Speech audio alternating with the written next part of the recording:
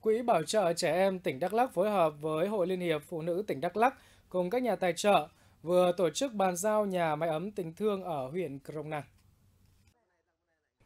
Hai em Hờ Tuyên Mồ Lô và Hờ Út Mồ Lô ở Buôn A Lê, xã E Hồ, huyện Krông Năng có mẹ mất do Covid-19, bố đi làm thuê, thu nhập không ổn định. Căn nhà cũ của gia đình đã xuống cấp, Trước hoàn cảnh khó khăn của hai em, Quỹ bảo trợ trẻ em Đắk Lắk đã vận động nhà hảo tâm hỗ trợ 50 triệu đồng và chính quyền địa phương hỗ trợ thêm để xây dựng ngôi nhà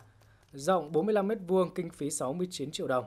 Tại buổi lễ, Quỹ bảo trợ trẻ em tỉnh Đắk Lắk, Hội Liên hiệp Phụ nữ tỉnh Đắk Lắk đã trao tặng thêm các vật dụng trị giá trên 2 triệu đồng. Đây là việc làm ý nghĩa của Quỹ bảo trợ trẻ em Đắk Lắk giúp đỡ trẻ em mồ côi có chỗ ở ổn định, yên tâm học tập.